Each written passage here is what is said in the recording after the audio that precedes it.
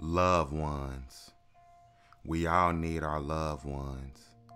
We all know what it feels like to lose a very close loved one.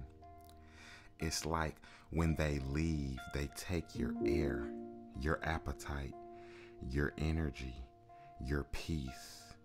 We're here for a short time. Plus, we have a shorter time to spend with our true loved ones. Do not let the smallest thing, like a misunderstanding, take you away from your loved ones. For the stronger ones, don't beat up the mind of your weaker loved ones because they need your strength, not for us to beat them down mentally.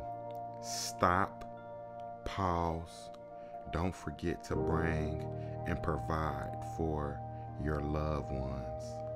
They depend on your strength. We, the people, need our loved ones.